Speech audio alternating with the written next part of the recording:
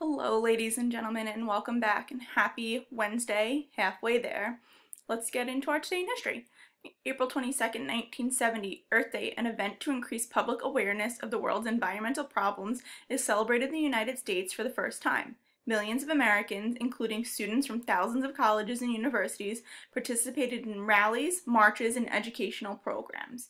All right, so if you guys didn't know, now you do. Today is Earth Day pretty exciting stuff.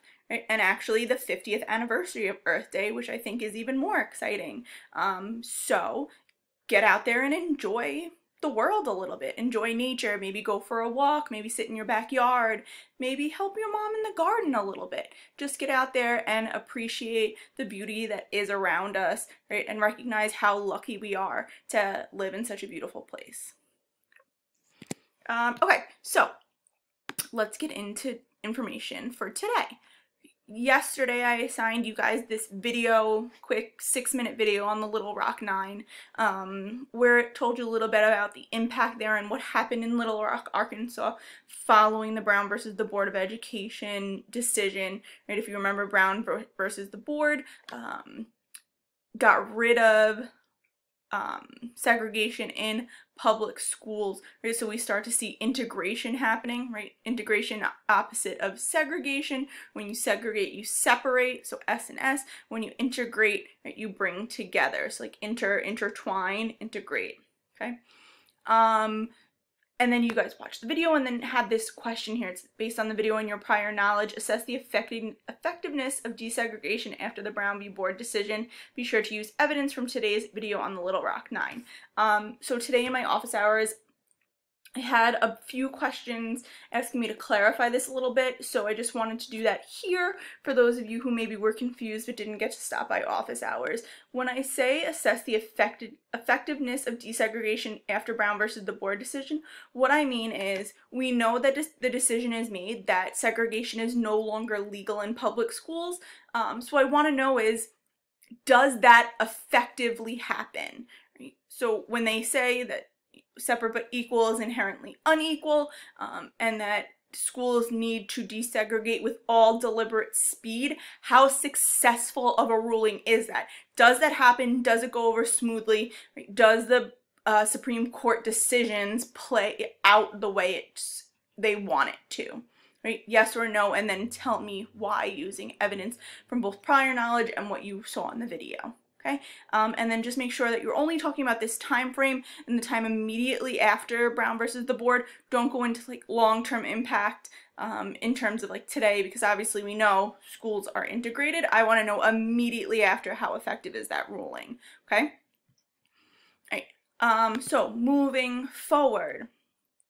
Brown versus the Board of Education is going to be the first legal step forward where we see the government stepping in and saying, no, segregation is not allowable and we need to make sure that these changes are being made, right? African Americans have had legal rights through the 13th, 14th, 15th Amendments at this point in time for over 100 years. Um, so now we see the law and government is trying to catch up with that ruling and trying to close those loopholes that were created or found by Southern government and make things more equal. So, um, your aim for today is what changes during the 1900s contributed to the civil rights movement.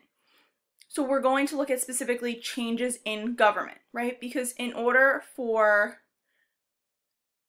people to take these changes seriously, right? It's one thing for the government to say, oh, integration needs to happen, segregation is wrong, African Americans need to be treated equally.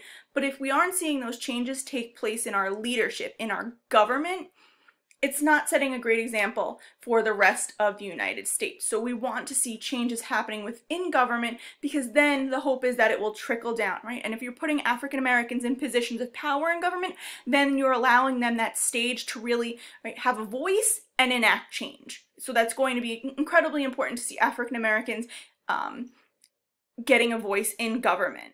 Right? Not only in voting, but actually in the decision making and the lawmaking processes. So what I have here is a graphic organizer for you. Uh, and you have to do two things. Right? So it says directions, analyze each, sor each source, and for each source, one, identify the branch of government for each source, and then two, identify the differences for each branch by categorizing them into the right time period. Right? So, you're going to have three different sources. Each source is going to represent a branch of government. And just as a reminder, the three branches of government are judicial, legislative, and executive. Right? Just so you remember. Right?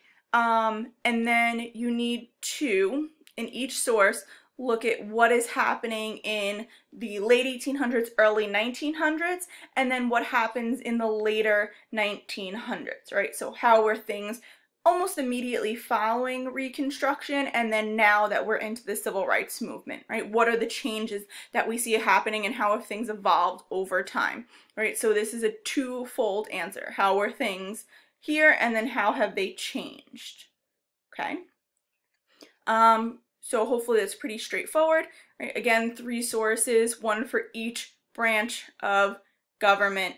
Right? And then um, down at the very end, I just provide you with some additional information, things that um, the social studies department as a whole thought were pretty interesting and that you guys should know a little bit about in terms of KKK members who were also in positions of power in the government, right? So I think from reading this, it gives you a little bit more insight on why the government allowed state level governments to get away with these loopholes or get away with avoiding actually enacting change and actually giving African Americans the rights that they deserved, right? Because if you have these people who obviously at their core are against segreg eh, sorry are against integration there's no way that they're going to be enforcing laws that outlaw segregation right? So just some interesting information there. Um, stuff that really goes if you guys look into the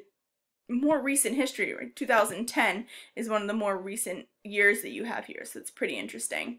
All right um so that is everything. Uh, just make sure that you guys also do the Flipgrid.